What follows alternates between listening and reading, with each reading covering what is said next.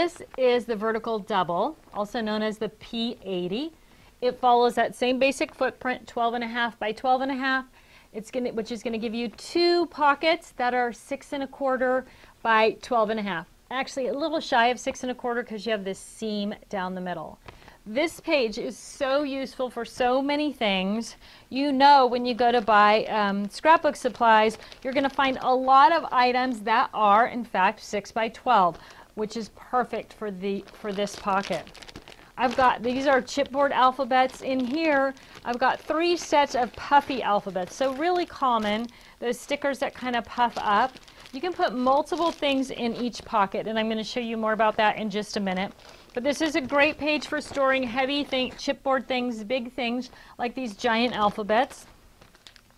It's great for storing things that are bulky, even if they're a little bit short. So I've got three, two sheets of chipboard in each one of these pockets. They're crystal clear so I can see on both sides. And they just drop down a little bit, but you can easily reach into that pocket because of the big opening and pull out those chipboard sheets. Easy to store things by category. Here's the $50,000 question, or is it the $60,000 question? I don't know. How many things can you actually put in one of these pockets? That's always what people want to know. Well, first of all, I want to tell you the nice thing about the vertical double is if things are a little bit too long, like these stickers, you can leave them sticking out, right? And this is just the label on the sticker, so it doesn't matter if it gets beat up a little bit. You're not actually damaging the product at all. So in this situation, I have the flap tucked behind everything, so it's easy to pull in and out. And how many things am I going to be able to pull in and out of this pocket? Let's count them. So this is a three-dimensional sticker.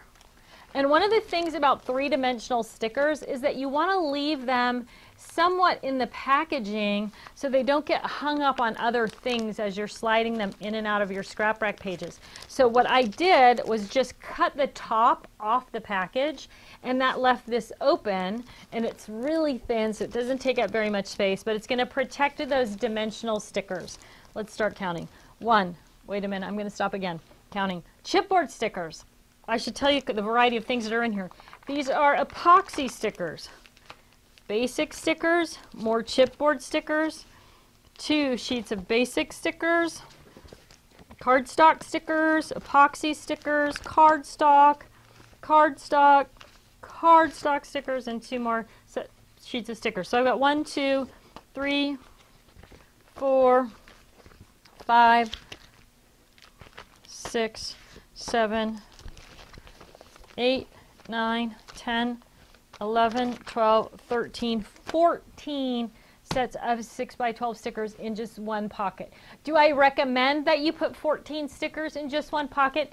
Not really. I think somewhere in the neighborhood of 4 to 6 items in a pocket is help is a good use of space and also not so cumbersome to dig through, especially in this long tall pocket. You can't kind of filter through those things. It is crystal clear, so when you put them in the pocket, you can put one thing facing forward and one thing facing backwards, and then you'll be able to see at least two things. You can put 14 things in the pocket. I'm going to recommend that you put somewhere between four and six things in each pocket. Now, there are people who only put two things, one facing forward and one facing backward. Totally personal preference. Uh, one of the things about the ScrapRack is that you can put a lot of products in a small amount of space. So if you're maximizing that pocket space with four or six items, you're going to be able to put a lot more stuff in a much smaller amount of space than if you're um, putting just one or two things in each pocket. But it is personal preference. In this other pocket, I have these other stickers, and this is like three uh, piece, three sticker sheets, well, five, I guess, because they're double-sided um, in a package and I just was able to slide that whole package in there. Now once I open the package and start using them, I'll probably move them into a smaller page, but it was convenient to pop it in there now because it's still easy to pull in and out of them. Okay, let me get back to my sample here.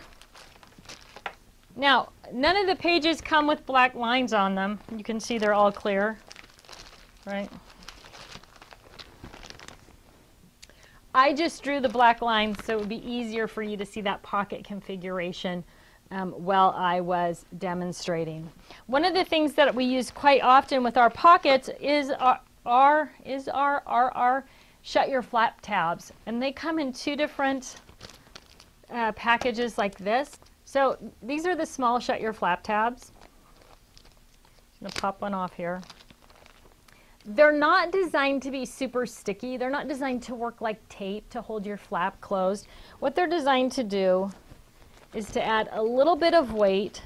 So when you open that, um, pot, that flap, and it, it's going to drop back closed every time. It's going to be a little bit sticky, but the other big benefit to this is it's hard to see the flaps, right? So it's hard to open them.